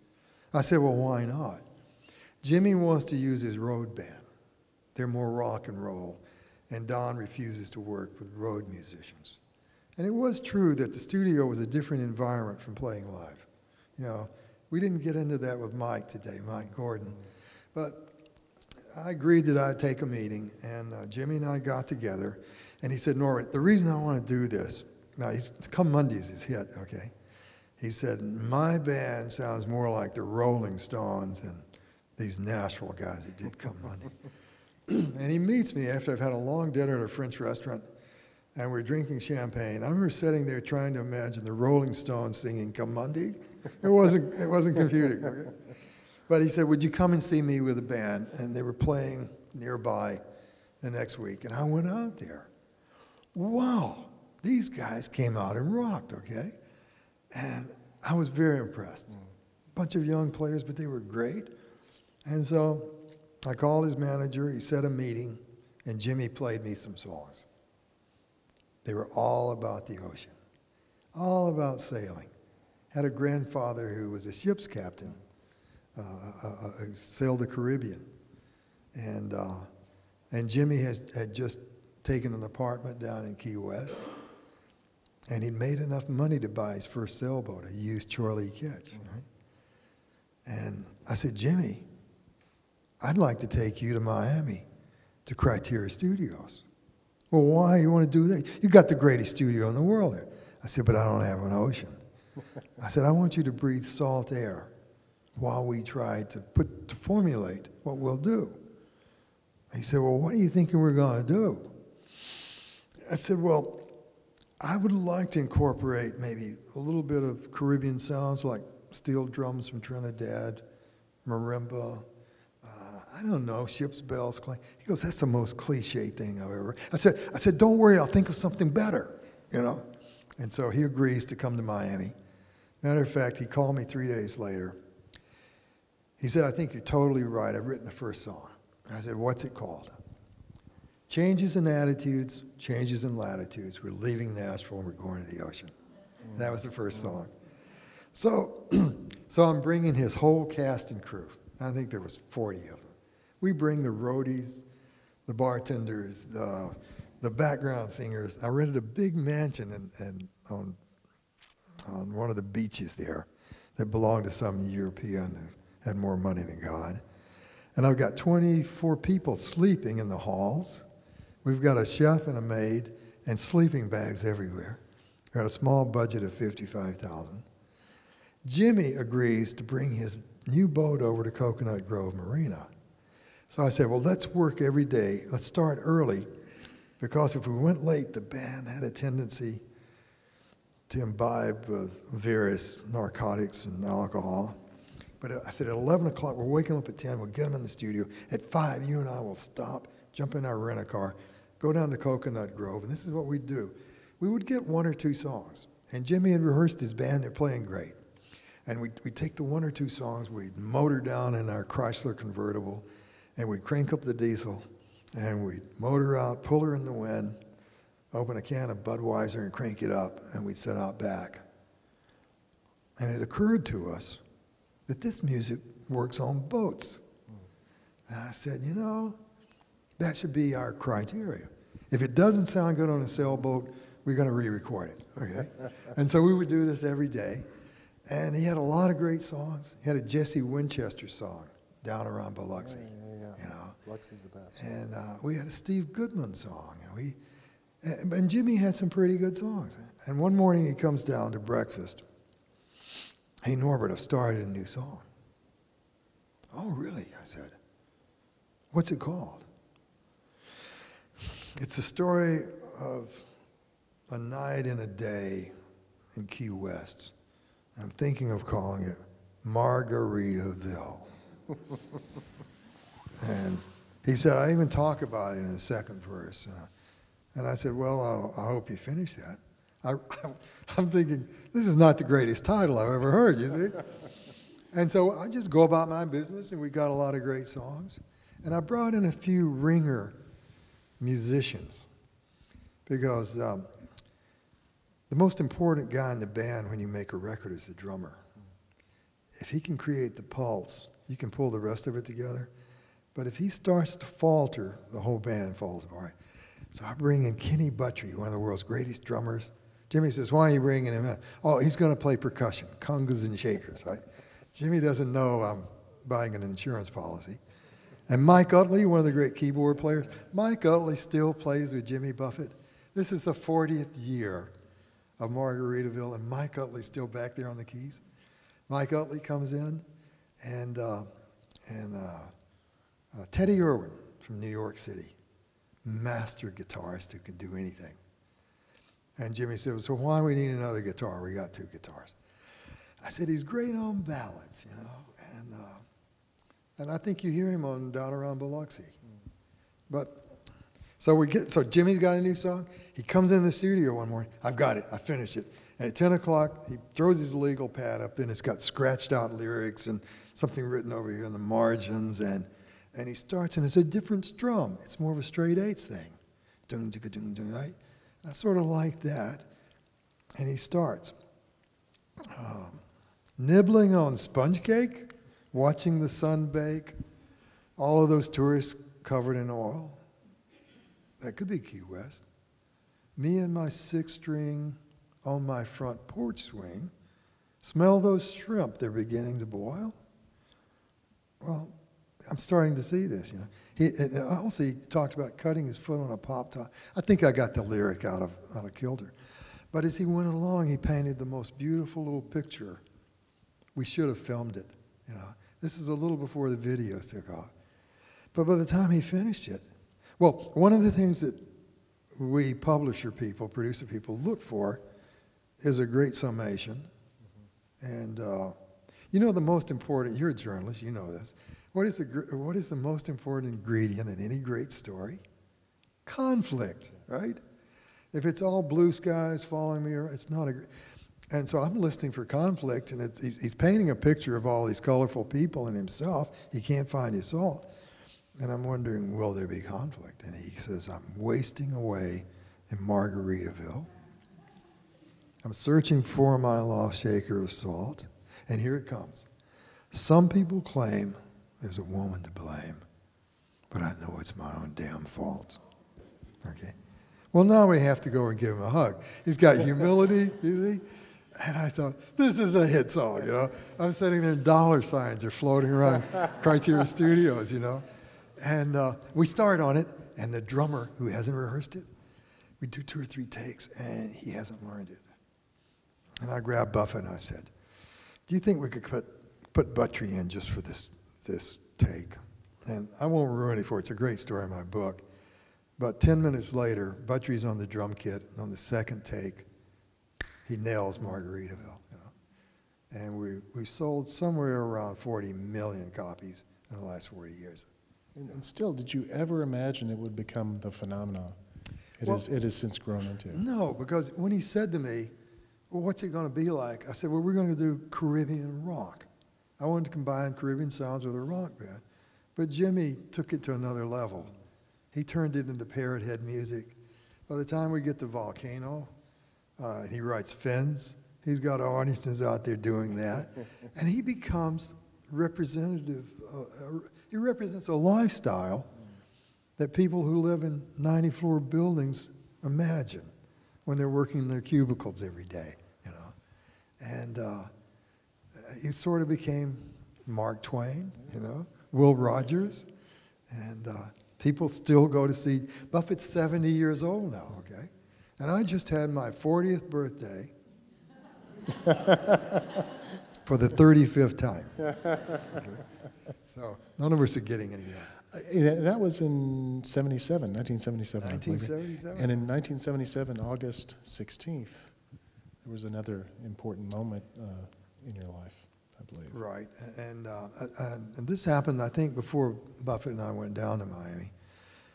Um, it was it was summertime. It was August, and my my children had been wanting to go to Hawaii, and uh, so I booked a house over on Kauai, down in Princeville. Some of you probably been there near Hanalei, and we rent a house on a golf course. And my son John's 14, so we're going to play golf every day. And my two younger daughters are going to be in the pool all day, you know. And uh, John and I came in from playing golf. By the way, my son was a natural athlete. He was beating me every day, okay?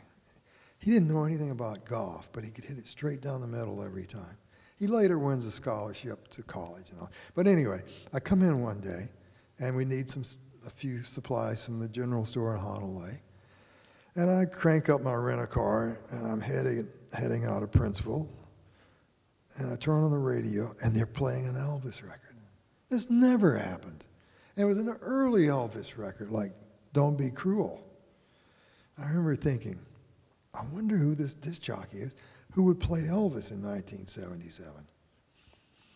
RCA in 1970 signed a guy from London named David Bowie, and they stopped promoting Elvis's music in America.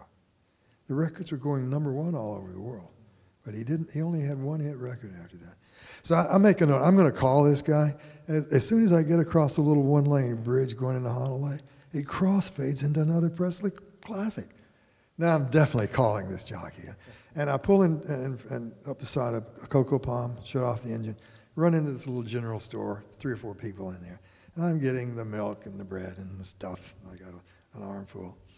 There's one cashier, and there's a college kid who's come over for the summer. He's got his backpack, okay?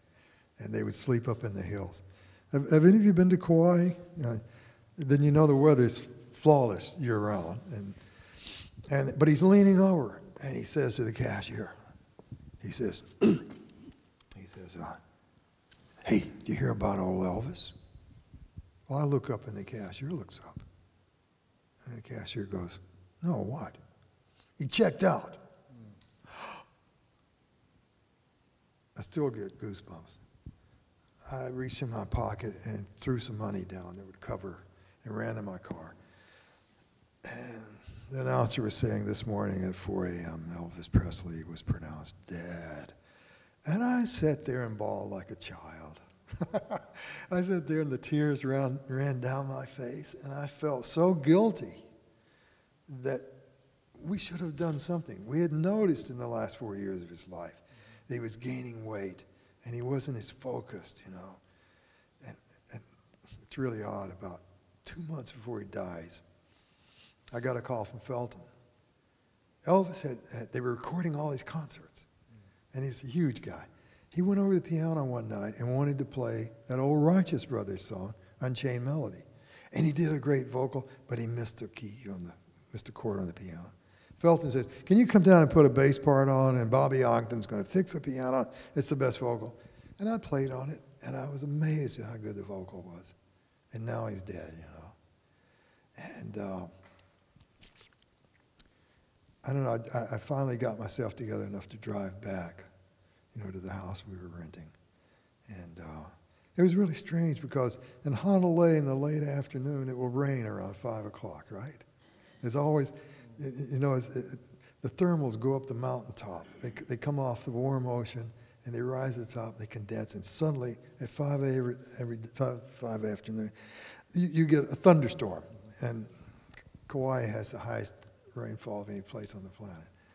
And as I'm driving off, I look up and it's dark blue back over towards the other end of the island.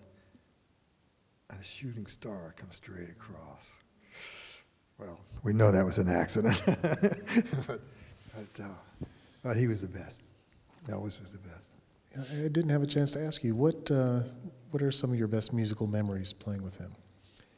Well, I played on 120 tracks. I did a second Christmas album, a second gospel album, da, da, da, da. But one night, um, we were in the, in the middle of a session. This may have been in Memphis, 73. Simon Garfunkel had a hit with uh, Bridge Over Troubled Waters. And Elvis just looked up and said, You guys know Bridge Over Troubled Waters? Well, we've been hearing on the radio. I'd really like to show Garfunkel how to sing that song. well, David Briggs, we couldn't find the recording, but David remembered part of the piano track. And, uh, and, and it's one of his great. Would you like to hear some of that? Would you like? Hey, Cheryl, would, would you do that? And, uh, and maybe I'll pick up the bass.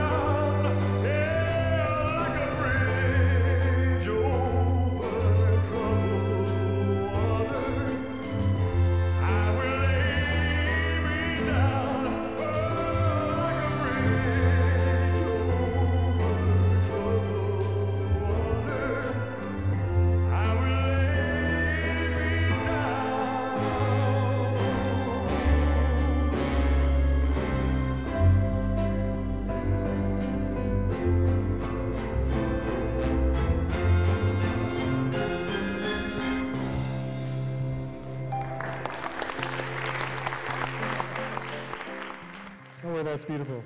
Everybody, Norbert Putnam. Sail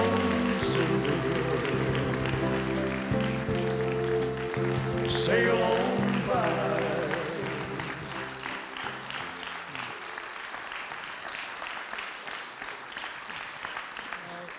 Uh, you have time for a few questions? Uh, oh, yeah, we have, anybody want to ask a question or two, or do we need to go? Have I kept you too long?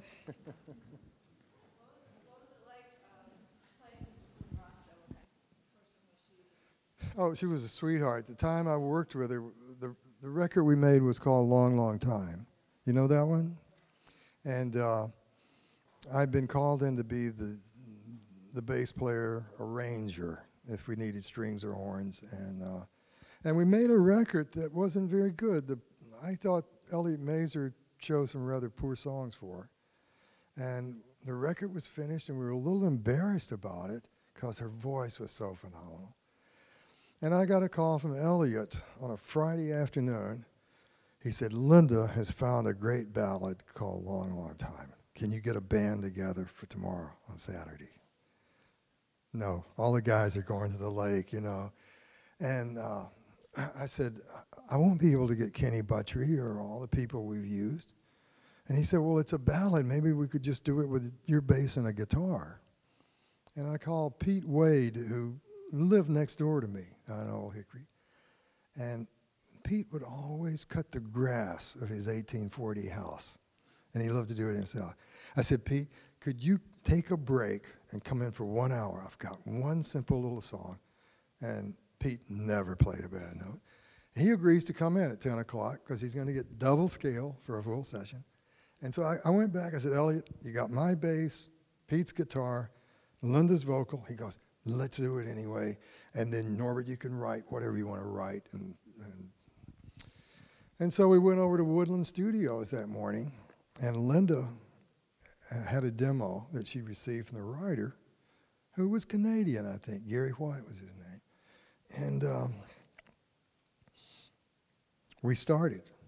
I wrote a chart out, handed it to Pete. We played it through once, and uh, the red light came on. And Linda's about 20 feet away from us. We're not wearing phones, but she can hear the guitar and the bass, and we're seated beside each other, and we start.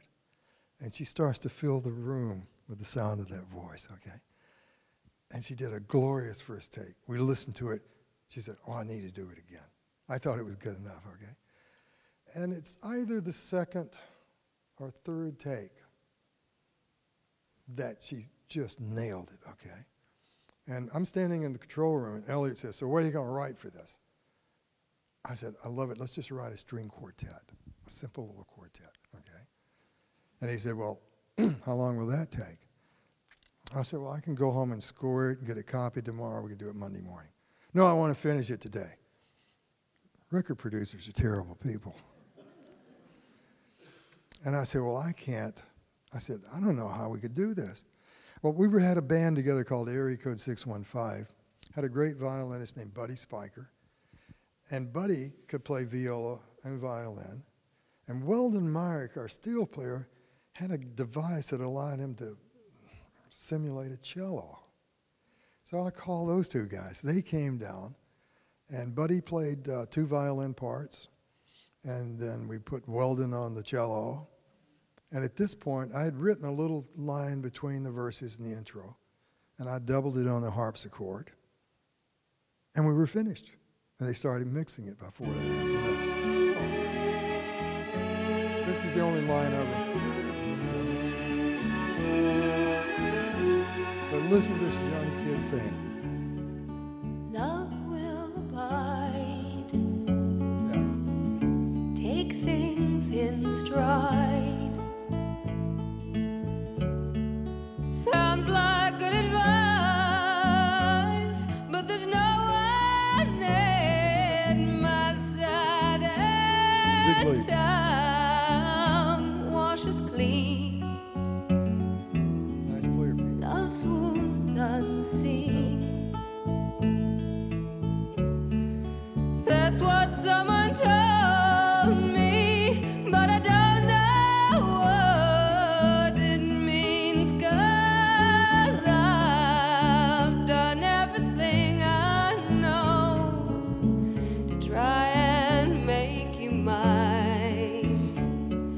I think I'm gonna love you for a long, long time. so we so we play, you let it play, let it keep playing. So we do my intro again. I asked Buddy to go out and put a violin behind the second verse. So keep it up.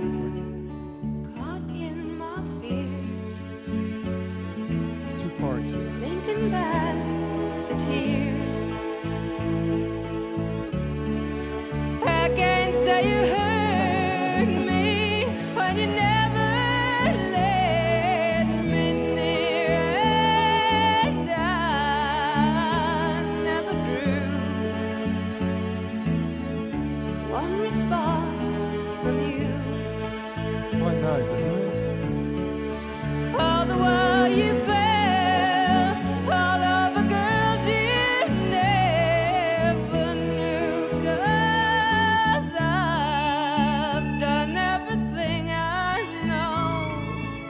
dissonance Try there. make Strauss. mine.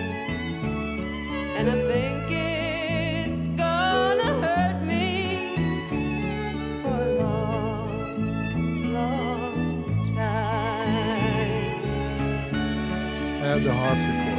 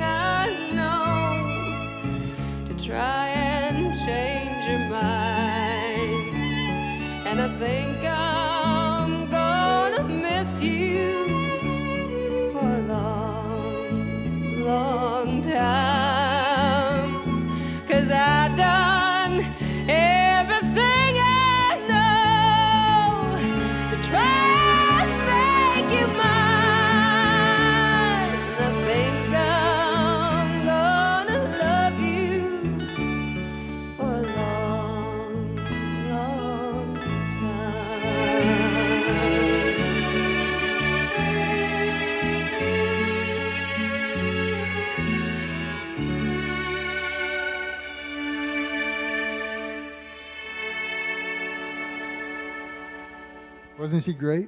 Yeah. That's one of my favorite records, and I it just came from out of nowhere, you know. Oh, you're welcome. Anybody else have a question? Yes. Yes, sir. Um, I'm sorry, two-pronged question about Kris Kristofferson. First was, what was that song that hit you when you were standing next to your buddy, like, wow, this guy really has something going on in the first meeting? And when you took Kris out for a beer, that sounds an awful lot like his song "To Beat the Devil." So, argue the devil and beat the devil? I think you're right. no, no, no, no. Uh, I'm not sure what the song was, okay? Um, I know Sammi Smith had the first hit. I'm not sure if we did that on the session or not. But I know a couple of those tunes show up as we go down the road. Uh, and, I'm, and first thing I know, I'm playing bass on his first real album for Monument because he wanted to use all of us who helped him, you know. And uh, we're down there, and he starts on this song. Cheryl, was it called The Pilgrim or something? Do you remember? And, and, and it occurs to uh, Kris Kristofferson as we're vamping over the intro that he'd like to think old Johnny Cash, who did one of his first songs. And, and, and so we're vamping, and he says, I want to thank Johnny Cash for yada yada, different. And we all looked up because we were sort of surprised he was doing this. And he saw us all looking at him. He said, and I want to thank Norbert Putnam. And he named everybody in the room. And we go, no, you don't have to think of that. but uh, let me tell you about Kris Kristofferson. Uh, he has been my dearest friend and supporter. Uh, he wrote the intro to my book. And he actually said I was a great guy. I mean, honestly. And uh, uh, I, I can't wait to see him. He's coming down to Florence this next month, and uh, uh, he was he's been a great supporter of all of us, and he never forgets. And he's just a prince of a man. Okay. Any other questions? Yes. This afternoon, you told an amusing story about Sam and Dave. It was a quick statement, wasn't it? Mind you share it? Well, we were talking about where do songs come from, okay? And uh, they come from a lot of places. But uh, Sam and Dave, I don't know if you know them, they were a duo at Stax, mid 60s? for Atlantic. Uh, yeah, they were officially on Atlantic, but made all their records at Stax Yeah. early on. Soul Man and um, But uh, the songs were basically written by Isaac Hayes, who goes on and has a great career, and David Porter, who was basically a lyricist. And the story goes that uh, they have a writing appointment. and Porter is supposed to be over there at 2 o'clock to meet Isaac, and he's late. Meanwhile, Isaac has a piece of music going on he's really excited about. And Porter comes running in, says, Get over here, we got to do it. He goes, I got to run to the bathroom. He goes, Well, hurry up. And, and Isaac's playing this thing. And he's yelling, David, where are you? And David goes, Hold on, I'm coming. He goes, What? Hold on, I'm coming. Ba-da-da-da-da-da-da. By the time he gets out of the bathroom, Isaac, that's, that's now the title of the song, and Isaac had the horn line in his head, you know. And, uh, and, and, and it's, there, I don't know if I mentioned this earlier today, but there was another couple of guys I worked with were the Addrisi brothers, uh, Dick and Donnie, and they wrote one of the biggest songs of the last century. And Dickie and Donnie, uh, their parents were uh, high wire act. They were flyers, and they were in the circus, and they were on the mouse. They were cute little guys, and they had an appointment one day to write. And Donnie would have breakfast every morning at eight o'clock with his wife, and as soon as she took the dishes, he would start looking at newspapers. Songwriters are always looking for a story, right? And she's over there, and she she said. Uh, uh, Donnie, did you hear about the couple down the street? And he goes, no, which couple? You know that young couple, they got a couple of kids, and, and they've been, oh, yeah, well, what about them? They're getting divorced. Donnie said, you're kidding. They can't be breaking up. They're great. He said, do you understand that? She said, I don't understand that. And so he's sitting there trying to think of something. And she just turned around and she says, Donnie, do you think there'll come a time when you'll grow tired of me? And he said, Never, my love. And he said, Say that again. and, he started, and he goes, Dickie, get up here. I've got one. Dickie ran up and they finished Never, My Love. You asked me if one of the great songs of the century. And, and uh, he, they call me. I did a couple of records with them for Clive and Columbia. And uh, they would call me every, every so often to tell me how rich they were. These guys, they write like one song, okay? And it was the Winter Olympics in 87 or something. And Dickie called hey, Norbert, what are you doing? I said, I'm very busy. I don't have time to talk to you. He said, well, I just wanted to tell you, uh, be sure to watch the Olympics. I said, are they playing Never My Love? Norbert, 600 countries will be sending us royalties. I said, Dickie, stop bothering me, okay? So the, the 2000, millennium flips over. Phone rings, Dickie again, okay. Okay, what have you done now? He said, uh, well, I don't want to brag, but uh, you know what the third most played song in modern history? I said, don't even tell me it. Was Never My Love. And his wife, basically, you know, their- you know Donnie's wife was responsible. But uh, I'm about to go in the studio uh, when I get home, Cheryl, right on the 30th, with the great Mac Davis. Mac Davis is one of America's premier songwriters. And the reason I'm going in, he's, he, he's written a song, and it's called That's Where Songs Come From. And it's the most beautiful thing I've ever heard. Uh, so watch for that. Any other questions? Oh, we got to, yeah, we got a couple more. Yeah. Yeah, so Mr. Conley, um, throughout your experience in the music career, um, if you could put your, your finger on one piece of advice for an inspiring Well, I would, say what Sam said. If you're not doing anything different, You're just copying someone else. So make an attempt in some way. y- You know, when we ran the publishing company, there's an old saying. What is a songwriter's job is to say, "I love you" in a different way, because 50% of all great songs are love songs. But uh, try to, try not to imitate anybody. Go out on a limb, listen to your heart and soul, and write it down. okay? Don't think about it too much. Any other questions? Quickly, I, I came in just a little late, so maybe might have mentioned Roy Orbison. Have you had the pleasure to work with him? I, I played on quite a few of his records, but I, I get to Nashville just as he's finished having his biggest hit, um, uh, Pretty Woman, okay? And he changed labels. He got a lot of money from MGM, and he never really had another big record after that. But I want to tell you, he was one of the sweetest guys I ever worked with.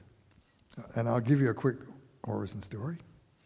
One day, there was a lull in the session, and Fred Foster, just to, just to fill time while we were on our break, said, I want everybody to tell me the most embarrassing thing that's ever happened to you. well, while I'm thinking about it, Roy raises his hand, and he said, I'd like to go first. And Fred says, well, what happened, Roy? Well, you know, he said, I made a lot of money. I came up to Nashville. I got a great house on the lake. And I decided I wanted a big Harley Davidson. And I got one. And then I went down and got the uh, Marlon Brando costume, you know, the, the black leather jacket and the hat. And he said, I rode it downtown, down Broadway. And I, I stopped on 2nd Street and I looked over the three or four tough guys over there. They're sort of looking at me, goosey a little bit. And they're going, they're sneering at me, you know. And he said, I'm looking up and it starts leaning. And it fell on me. and he said, he said, I crawl out and I can't lift it, okay? And- he said, I look over at the guys and they're all looking up at the, at the ceiling. A guy gets out of the car behind him. He said, that was it for me. I was no longer Marlon Brando. Isn't that a great story? It fell on him. Yes. Thanks for your great stories. It's really fascinating to hear your, your stories. Um, Elvis, Right. there's a particular album which I really love. And I can't tell you the name of the album, but it has two songs on it. One of which is called uh, Starting Today, and the other which is called Judy. I don't know if that brings to mind anything, but what I'm curious to know is if you know anything about the album that that appears on, which is so distinct in flavor from his other recordings. It, it has a, like an R&B kind of feel uh, with a tight rhythm section as opposed to more pop uh, expression. And I wonder if that brings to mind anything. Those songs uh, called Judy and Starting Today. Judy was one? J U D Y? I sort of remember that. The B was remember that. Was it? And that and it was interesting because it was a very tight R&B production, the whole album, very distinct from any of his other recordings. Well, there's a wonderful book that Ernst Jorgensen wrote on the Elvis sessions. For years, people would ask me, Norbert, you worked with Presley. I'd say, yeah. Well, how many, how many albums you do? I said, I think I must have played on 40 or 50 songs, you know. And Ernst Jorgensen's book comes out, and my wife Cheryl gets it. And he had the union contracts that had the titles and all the players. And, and Cheryl came in and said, you played on 120. And when I read the list, I didn't remember a lot of them. Because if you're doing five, six, seven songs in an evening, five days in a row, and I never had any of the records uh, because we didn't have time to listen to the product. We were, we were, every week we were turning out dozens and dozens of artists. But I will look. Cheryl, would you, when we get home, would, Judy was 1961. Oh, then that's before I started to play with him. Yeah. That would probably have been Bobby Moore and uh, Floyd Cramer from that era. And what was the other? You have the book up there? How do you know this? You're kidding. My wife is brilliant. Now you know why I'm here. Any, anyone? Oh, yes. Did you ever play um, with the Highwaymen, like as Kris Kristofferson or Johnny Cash? No, uh, uh, I was well out of the music business by the time they did that. I did work with Jimmy Webb a bit, who wrote that song, who was uh, one of the greatest songwriters of our time, you know. And uh, and I'll tell you a very quick thing about Jimmy and I are down in Memphis, and we're cutting tracks with Steve Mergen. Remember Steve? And on the way back in the car, I asked him about. And this is something I always do when I was with a, a famous songwriter. I said this to Joni Mitchell one night, and, and I'm saying it to Jimmy. I said, Jimmy, how did you go about writing all those great songs? MacArthur's Park, Galveston, by the time I get to Phoenix, Up, Up, and Away, Didn't We, Girl? And he said, Nord, I'm very embarrassed about all of that. I said, why? He said, well, you know, everyone thinks that MacArthur's Park is poetry. He said, you know, I'm a musician. He said, I, I get at the piano and I get something happening. And MacArthur's Park is all over, it's atonal. He, you know, he's moving in and out of key signatures. And he said, I hate to admit this, but I get so excited, I would grab a legal pad and write down the first thing that comes into my mind. And then the record was a big hit, and they said I was a poet. that might be the answer to your question as well, okay? Write down. And, and, and, and, uh, one night I bump into Joni Mitchell at A&M Studios, and she says, you want to come back and hear my record? And they were just finishing. And I asked her, I said, so how do you go about writing your songs? And she was like Jimmy. She said, I get up in the morning, I take a cup of coffee out on my deck, and I'll get my guitar, and I'll get some music going. I'll grab a legal pad and write three or four verses as fast as I can and put it away. And the next day, she said, I go out with my friends, I have lunch. The next morning, I, I, I pick it up and I start scratching out. I'm usually left with two verses and a chorus. So you might try that. yes, in the back over there. Yeah, of, of all the songs that you've been part of, um, are there is there like one or a couple that you are either the most proud of or the most grateful to have been part of that just takes you, you know, to a place when you hear it? Well, so many of them do that because I don't have all of these songs in my library at home. I'm more likely to hear it on uh, on uh, iTunes Radio or uh, Sirius FM or. Um, but occasionally I'll hear something like uh, the Neon Philharmonic, Morning Girl. Neon Philharmonic was some of the most interesting music I ever played, and it was American uh, rock, rock opera, you know. And I heard that thing a while back, and I sort of got chill bumps, you know. But I played on 10, 12,000 records, and, and, and they don't get a lot of airplay anymore, you know. But, uh, but they're, they're pro- and the, the worst thing about me, I didn't keep a journal, you know. And when, when Cheryl and I started writing this book, which was 10 years ago or longer, we were living in Hilton Head, and I would be invited to a lot of society parties, dinner parties where I would be the musician. And, uh, and they would ask me a, story. And one night a guy asked me if I ever worked with Jerry Jeff Walker, I think it was Cheryl. And I did work with Jerry Jeff, and I gave him some insight into the Jerry Jeff sessions. Jerry Jeff was an alcoholic, okay? And when he would come to the quad to make a record, we'd set up a full bar in the studio, and we would go in and drink with him for one hour so that we'd be in the same condition he was in when we did. And well, the guy thought that was the funniest thing in the world.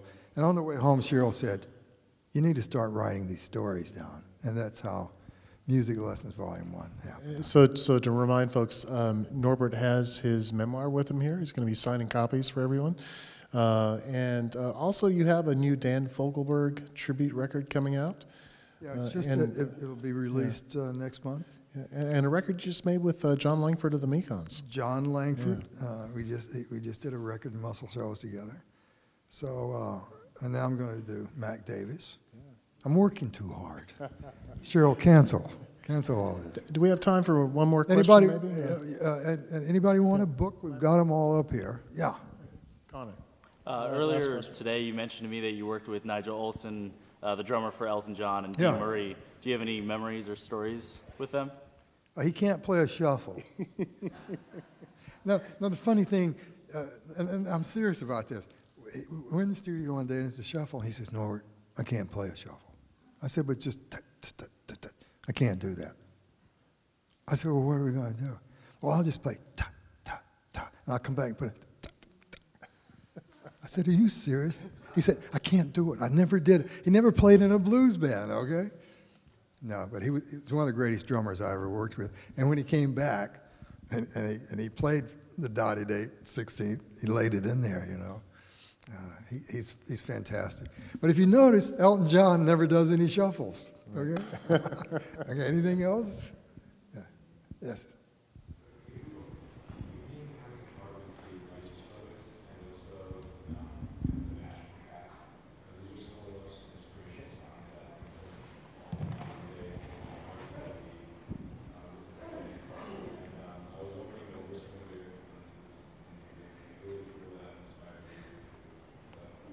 Everyone.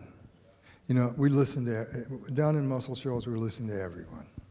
Uh, and, and, and when I was a young kid, I met Goddard Lieberson at Columbia after I'd been there a few years.